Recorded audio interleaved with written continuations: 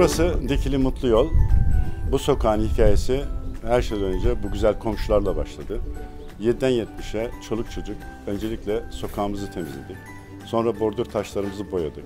Sonra lastikleri çiçeklendirdik derken her geçen gün yeni yeni tasarımlar, yeni yeni projelerle Mutlu Yol bu hale geldi.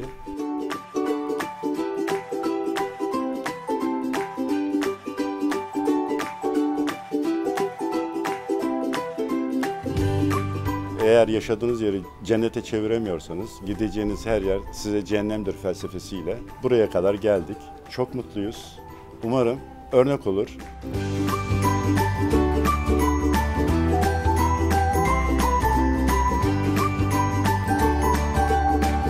Çocuklara nasihat vermek yerine örnek olmak gerektiğine inanıyorum.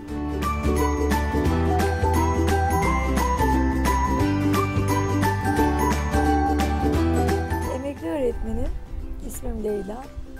Çocukları çok özlediğimi fark ettim. Onlardan kopmak mümkün olmadı. Şimdi o özlemimi bu mahalledeki güzel çocuklarla tamamlamaya çalıştım. Onlarla birlikte üretmeyi, paylaşmayı yeğledim. projeler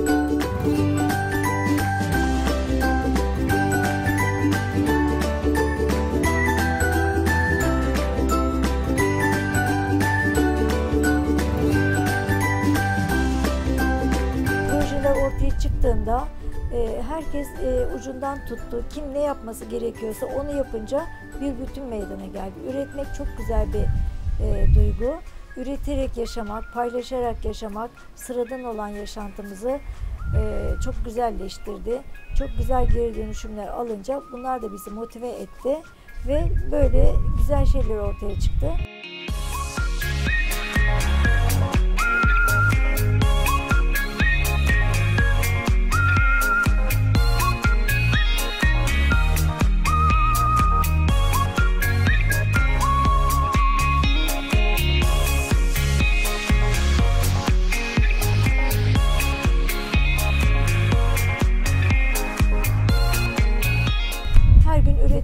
Yaşamayı planlıyorum. Yarına umutlarla uyanmak istiyorum.